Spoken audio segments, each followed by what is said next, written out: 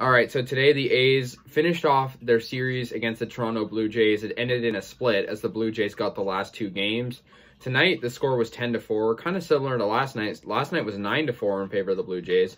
And the you know, it was kind of the opposite of last night in terms of like how the game went because last night Chris Bassitt played really well and had a good start, but the relief pitching kind of lost the game and tonight it was the opposite. The starting pitching was horrible. Mike Fiers I just don't think he's good anymore. You know, he had that good season, maybe even two, uh, arguably.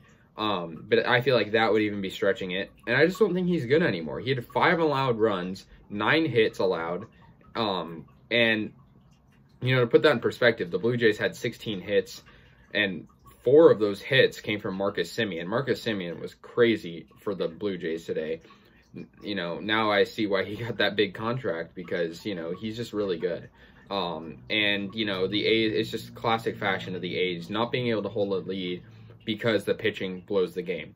Lead off homer in, bottom, in the bottom of the first inning off Hyun Jin Ryu uh, was the pitcher for the Blue Jays. Made it 1 nothing A's. But Randall Grichuk, he got a three-run homer for the Toronto Blue Jays, and that made it 3 to one in the third inning. However, the A's made that a one-run game in the third after Olson got an RBI double. And then the A's actually took the lead on a Murphy two-run single.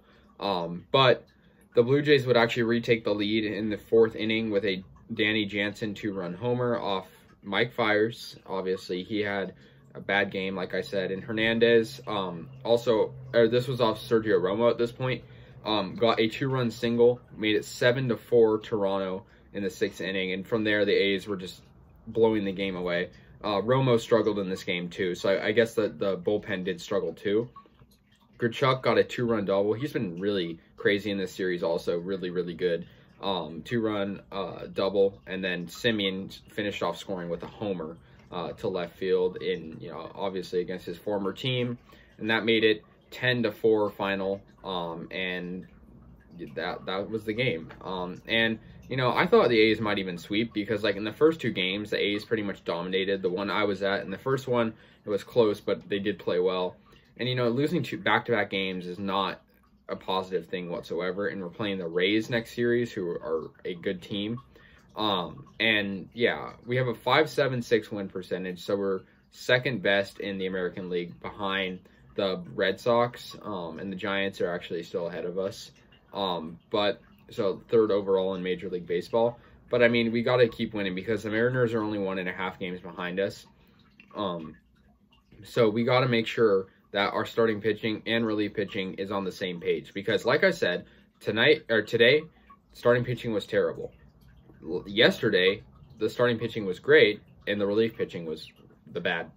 You know, kind of they they allowed everything to kind of fall apart, right? So you know, the A's got to watch out for that. I think, you know, our offense is fine. I think, you know, only six hits tonight.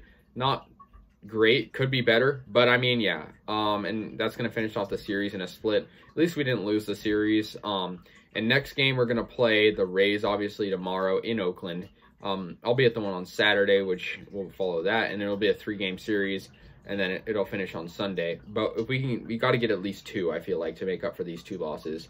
We can't lose this series. So, yeah, final score tonight, 10 to 4 in favor of the Blue Jays. A's lose back-to-back -back games in a similar fashion, 9 to 4 yesterday, like I said. But let me know your thoughts on this. 19 and 14 is our record, and go A's.